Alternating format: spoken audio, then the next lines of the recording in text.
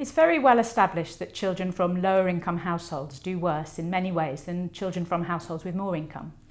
They tend to have poorer health, to do less well in school, they're more likely to report low self esteem and to get into trouble as teenagers, for example. But the reasons for these differences are disputed. Is it income itself that's making the difference? Or is it that there are other differences between households that are responsible? For example, households with more income are also often households where parents have more education. They may take more interest in their child's education. Uh, perhaps they may be stricter about homework and other rules. So income could just be a correlate, not a cause of the differences in outcomes. This is a really topical question right at the moment because we're seeing a number of serious reforms to the benefit system that are reducing income for households with children. One of the government's arguments for focusing austerity cuts on the welfare bill is that this allows relative protection to services such as education. The government, in fact, talks quite a lot about social mobility and the importance of investing in children's life chances and opportunities. And we've seen the introduction of policies, for example, such as the pupil premium, which channel more resources within schools to poorer children. But if household income matters, cuts to benefits may be very damaging to these attempts to improve life chances we conducted a review of research studies that examine whether money itself matters to children's outcomes. We have very strict criteria for which studies were included. They had to convince us that they were getting at causal relationships and not just at associations. That meant they might make use of experimental situations where one group but not another received an income boost, perhaps because of a change in benefits that affected some family types but not others. Or they might track families over time to see what happened to children's outcomes when income went up or down.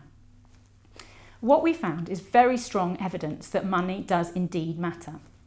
So children from lower income households have worse outcomes in part because they are poorer, not just because poverty is correlated with other household and parental characteristics. This doesn't mean that the other differences, such as parental education, parenting style, aren't also having an effect, but it's clear that money itself is an important part of the story. We found most evidence on the, income, the impact on children's cognitive development and achievement in school, and there was also strong evidence on measures of social and behavioural development, such as emotional well-being and, and risk-taking behaviour. The effects are quite substantial in size, in fact broadly similar to the effects of spending similar amounts on school or on early education. An obvious question that then arises is why money matters. And there seem to be two types of reason. One is that more money simply allows more spending on things that make a difference to child development, such as healthy food, books, stimulating activities.